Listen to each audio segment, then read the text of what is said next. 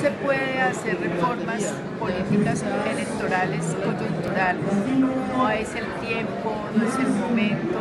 A ocho meses de una apertura de un nuevo gobierno, no podemos permitir de que se hagan más, más de los que siempre saben hacer acá. Y esta reforma no era que iba a ser favorecer a la mujer. Nosotros no somos minorías, somos 50-50 que la estamos luchando para la